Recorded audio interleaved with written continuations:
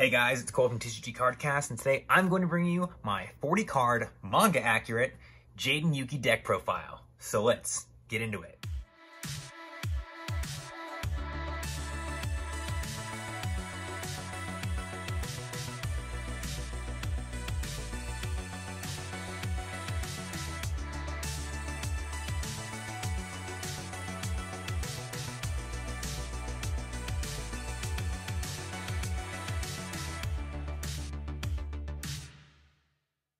Just like the Aporia deck from last month, this is going up on Amino first. Uh, it is for uh, the Aminos GX month.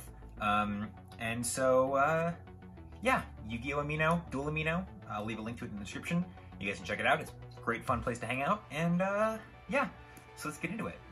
Starting off with Jaden's extra deck, we have his Ace Monster. We have an Elemental Hero, Terra Firma, who is made using uh, Ocean and Woodsman.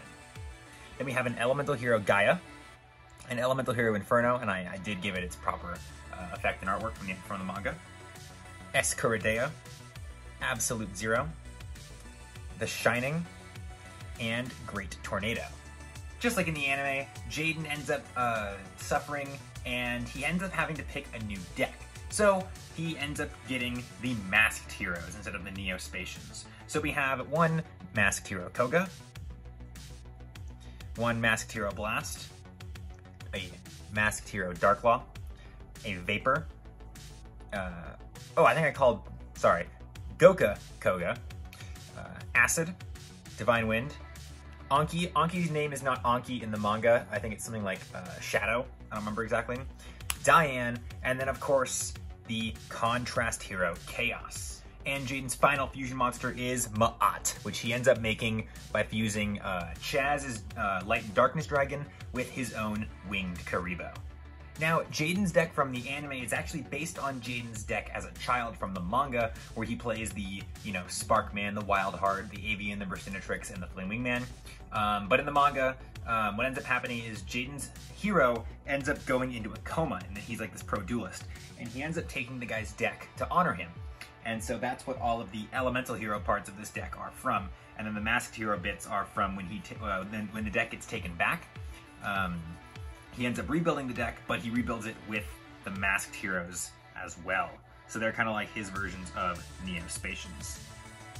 On to Jaden's main deck, you're going to notice he plays a lot of uh, a lot of the the good hero cards. Um, Jaden in the anime plays a lot of the uh, the weaker hero cards. Uh, Jaden from the manga plays a lot of the better hero cards. So we have uh, one ele one elemental hero Ocean, and an elemental hero Woodsman, one elemental hero Stratos, a Shadow Mist, a Flash, a Heat and a Lady Heat, a Voltic, an Ice Edge, um, and then instead of getting Neo-Spacians, as I said before, he gets Masked Heroes. So on top of those guys, we have Masked Hero Ray, Masked Hero Inferno, Masked Hero Gust, Masked Hero Dusk Crow, Masked Hero Fountain, and Masked Hero Bastles. On the Jaden's tech cards, we have a Thunder King Rai-Oh, a Winged Kuriboh, a Winged Kuriboh level 9, and a Winged Kuriboh level 10 in which his first spell is a copy of Mask Change, followed by a copy of Mask Change 2,